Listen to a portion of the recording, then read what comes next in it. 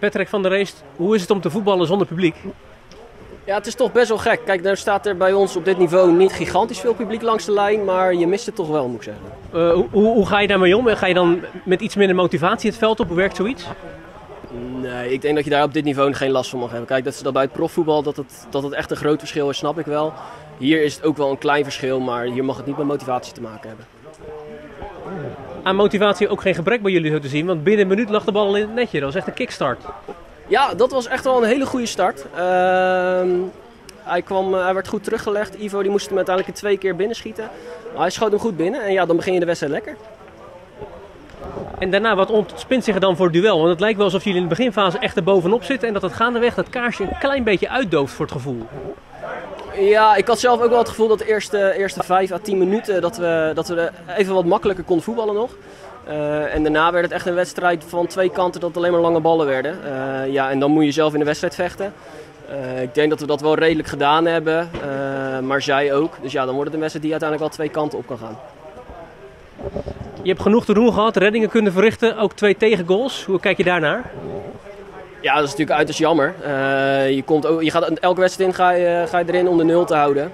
Uh, ja, nu moet ik er twee helaas door laten gaan. Uh, twee ballen waarvan ik denk dat het niet per se nodig was dat ze erin gaan. Ehm, ja, het is, gewoon, het is gewoon uiterst jammer. Als je, als je die ballen niet doorlaat, dan win je uiteindelijk hier. Of dat terecht was geweest, laten we nog even in het midden. Maar het, is, ja, het blijft jammer. Nou, dat wil ik liever niet in het midden laten. Was het een terechte uitslag, ja of nee? Ik denk al met al dat het wel een terechte uitslag is. We hebben allebei onze kansjes gehad natuurlijk. En je hoopt hem hier uh, drie punten gewoon mee te kunnen nemen. Uh, zeker nadat we de 2-1 konden maken uit de penalty, denk je van nou, nu gaan we het over de streep trekken. Nou, binnen vijf minuten lag hij bij ons er weer in, dus dat was jammer. Maar al met al is het wel een terechte uitslag. Hoe heb jij de afgelopen week beleefd als uh, selectielid? Daar ga ik maar even vanuit, die zelf niet besmet is geraakt, maar het gebeurt natuurlijk wel om je heen, waardoor er ook een wedstrijd wordt afgelast. Ja, het is, uh, het is een hele rare situatie. Je moet ermee dealen. Uh, tuurlijk, je hoort af en toe om je heen dat er wat jongens binnen de selectie of een test moeten doen of uiteindelijk besmet zijn. Uh, maar ja, goed, we gaan met, we gaan met z'n allen gaan we er verantwoord mee om. En op die manier gaan we er gewoon voor zorgen dat het niet binnen de selectie helemaal gek uit wordt. En nu is de boel weer op orde, toch?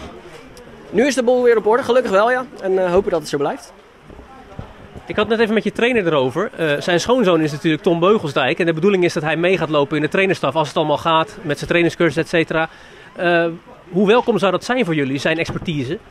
Ja, natuurlijk, dat is altijd welkom. Ik bedoel, het is, uh, het is een hele leuke jongen, een hele leuke gast. Ehm, ja, die heeft een schat van ervaring bij zich. Plus daarnaast is het volgens mij ook gewoon iemand met wie je, uit, met wie je gewoon kan lachen.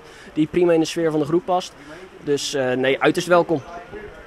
En als keeper zal het ook wel lekker zijn als de verdediging nog, nog iets uh, stabieler kan worden, nog iets uh, steviger dicht wordt gemetseld. Ja, uiteraard, uiteraard. Ik hoop dat ze, dat ze nog wat fijne kneepjes van hem kunnen leren. Dus uh, alleen die gele kaarten moeten ze niet van hem, van hem over gaan nemen. tot slot, de, komende, de, de nabije toekomst. hoe die eruit ziet weet niemand. Voorlopig in elk geval de komende paar weken nog spelen zonder publiek. Waar hopen jullie als ploeg op dat de competitie stil wordt gelegd? Of kan het op deze manier ook door? Nee, ja, zolang, zolang je kan voetballen, hoop je gewoon lekker te kunnen blijven voetballen. Ik bedoel, we hebben zes maanden stilgelegen. Uh, de eerste twee weken denk ik nog van, nou ja, weet je, uh, het zal misschien zo wel weer over zijn en, uh, en we kunnen weer gaan ballen. Maar na zes maanden begint het echt alweer te kriebelen en begint het echt te missen. Dus ik ben, ik ben al lang blij dat we weer het veld op kunnen.